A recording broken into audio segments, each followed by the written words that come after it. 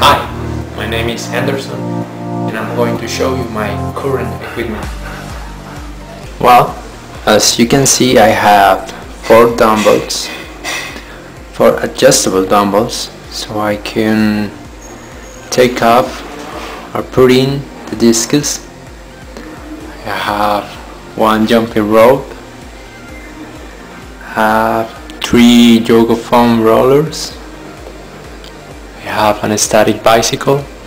Well, the space right now is not an actual problem because if I get all the equipment I I require, I could give up to my living room in the apartment I'm living right now.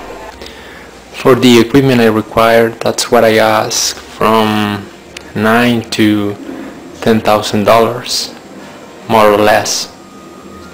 The eighty-five thousand dollars will be to buy the the large place, a warehouse, or a bigger apartment, so I can I can put all my all the equipment I require in a more uh, spaceful place, motivating. So I will appreciate if you help me to get uh, one of these goals or even the major goal. Well, as you can see, this camera I'm using right now, which is a Sony Cybershot from 2006, is not the best, but it's the one I have now. And well, I need a camera, of course, to make uh, high quality videos. And as I wrote in the story, I'm planning to to make videos in English and in Spanish.